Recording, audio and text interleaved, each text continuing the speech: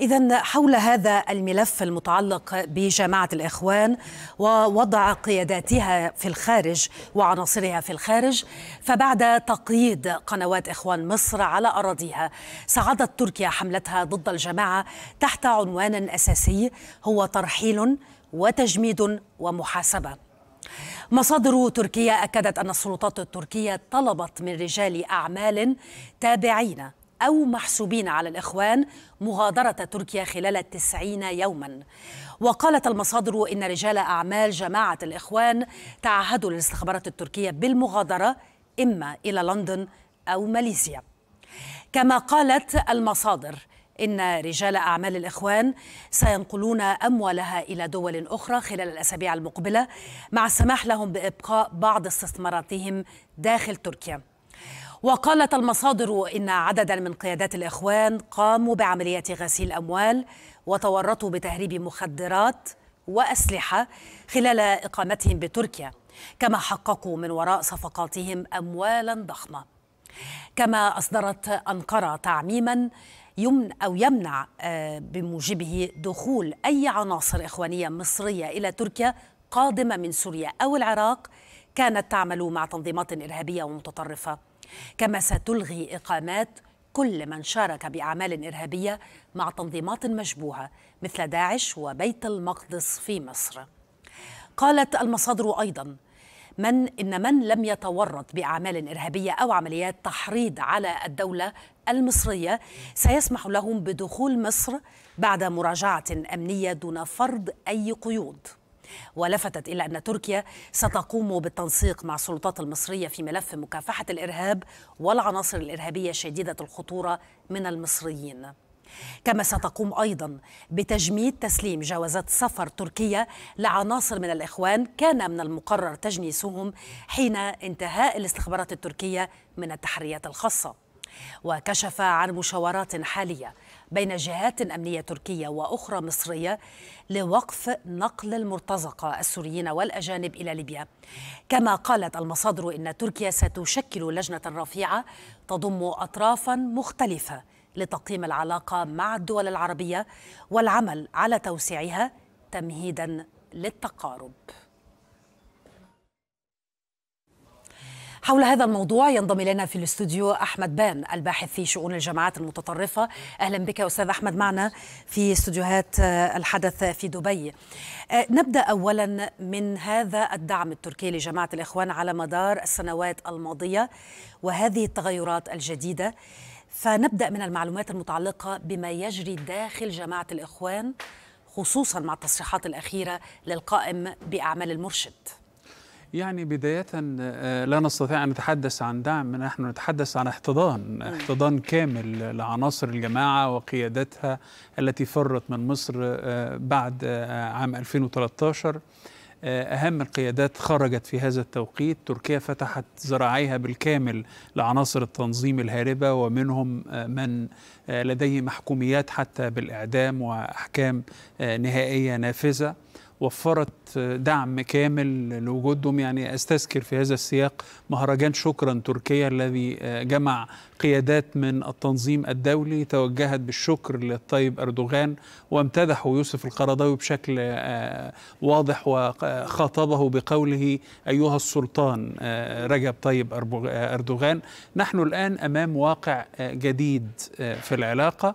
أزمة يعني وجودية لتنظيم الإخوان لم يواجهها عبر تاريخه. في السابق عندما كانت تهاجر عناصر الجماعة أو قيادتها إلى دول حاضنة توفر شكل من أشكال الدعم سواء في أوروبا أو غيرها من الدول العربية لم نصل إلى هذا المستوى من الدعم ولم نصل إلى هذا الحجم من القيادات يعني والأعضاء. صحيح.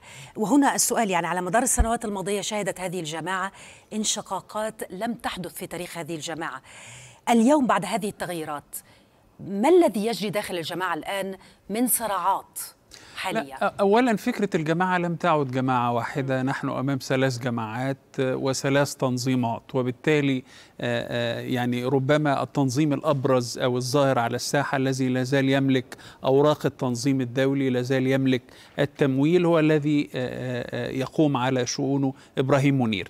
وبدأ خطاب إبراهيم منير بالأمس خطاب يائس بائس لقيادة خارج التاريخ خارج الواقع غير ممتلك لمهاراته حتى الذهنية قدرته على التعاطي يعني قدر كبير جدا من الارتباك حالة من حالات الاستسلام الكامل مع الحرص على التشبث بالحديث عن محاسبة ومساءلة هذا اليأس سيد أحمد؟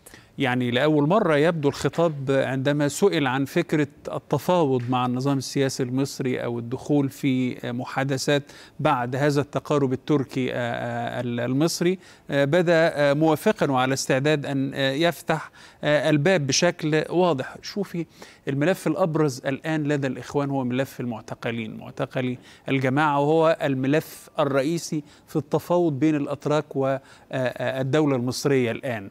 وربما الإخوان يعولون بشكل كبير على هذا الملف لإتمام شكل ما من أشكال المصالحة بين التنظيم الذي لم يعد لديه أي أوراق للتفاوض. في حقيقة الأمر دائما ما نصف الإخوان بأنهم أبطال الفرص الضعيف الضائعة. في أوقات سابقة كان لديهم ما يستطيعون التفاوض به. الآن بعد أن فقدوا كل الأوراق يتحدثون عن التفاوض مع الدولة المصرية بعد ما فرط فيهم الحليف التركي بشكل واضح وباعهم في أول محك يعني. ومن المعروف أن الطيب أردوغان فعلا.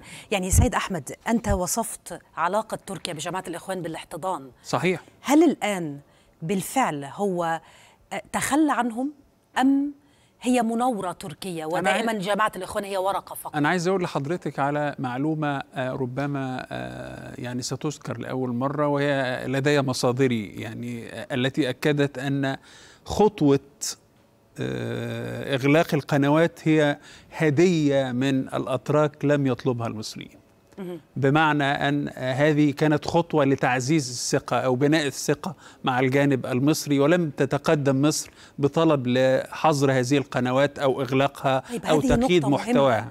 تؤكد ما تردد في الفترة الماضية بأن أولويات مصر الآن ليس من بينها ملف الإخوان ولكن أمور أخرى مع تركيا. وبالتالي لماذا تركيا قدمت هذه المبادرة المتعلقة بوضع الإخوان أو حتى قنواتهم؟ تركيا قدمت هذه المبادرة لأنها محشورة في الزاوية. سياسات أردوغان في الفترة السابقة خلفت عزلة كبيرة لتركيا عزلة عن المحيط العربي بالكامل عن المحيط الخليجي عن عن مصر. ومصر دولة محورية ومهمة في الإقليم. حجم الأزمات التي واجهت تركيا فقدانها لكل الحلفاء. دفعها في النهاية لإدراك أن مصر رقم صعب في معادلة الإقليم وبالتالي لا تستطيع أن تتجاوزها تحليقا مع أوهام الإخوان ودجمه الإخوان التي تتحدث عن استعادة الحكم في مصر بعد حالة الانكشاف السياسي والأخلاقي الكاملة في مصر والفقدان الحاضنه الشعبية في مصر بالأساس. وهذا ربما لم يغب عن الاتراك، الاتراك أدركوا أن تنظيم الإخوان لم يعد له قاعدة شعبية يحظى بها وبالتالي لم يعد بالتالي لم يعد قادراً كبيرة. على استخدام المظلومية كما كان سابقا. لم تعد قابلة للتعويم فكرة المظلومية وربما قلنا في السابق أن حتى ورقة المظلومية لها فترة صلاحية م. تنتهي في النهاية. الإخوان لم يدركوا ذلك بطبيعة أن مشكلة فروق التوقيت دائما لدى التنظيم أنه يدرك متأخرا ما كان ينبغي أن يدركه مبكرا وبالتالي بعد أن فقد كل الأوراق فقد كل الحلفاء لم يعد لديه ما يقدمه انهزمت أو هزمت كل مجموعاته المسلحة في الداخل وأمكن تحييدها بشكل كامل لم يعد لدى التنظيم ما يقدمه أو حتى يقنع به قواعده وربما هذا سيخلف أزمة أكبر داخل التنظيم أو ما تبقى من التنظيم ومن يتابع يعني أي نوع من الأزمات؟ أزمة ثقة في كل هذه القيادات التي وصلت بالتنظيم بعد تسعة عقود إلى هذه المحطة. في كل الأزمات التي واجهها التنظيم لم يعش أزمة بهذا الحجم. لم يخسر حواضنه التقليدية الدول التي كان لديها قدر من التعاطف معه. الآن هو يخسر أهم حاضنة وهي الحاضنة التركية التي تعاملت للحقيقة مع هذه الورقة منذ البداية باعتبارها ورقة سياسية لتحقيق مصالح